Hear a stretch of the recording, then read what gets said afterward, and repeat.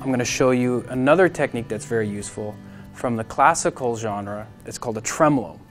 Now, a tremolo is designed to have a busy single note happening while you play kind of melody notes on your bass strings. I'll, I'll show you. The, the pattern is thumb first, the A finger, M finger, I finger. But your M finger and I finger and, and, your, and your A finger are staying on one string while your thumb moves around on the bass string. So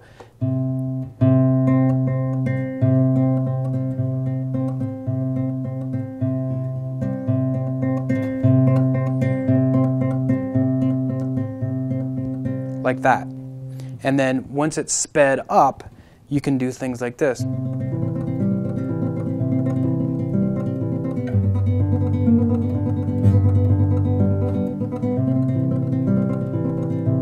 That's a very classical technique, very, very uh, easy way to come up with some new interesting sounds that maybe you never thought of before that you can borrow from the classical world.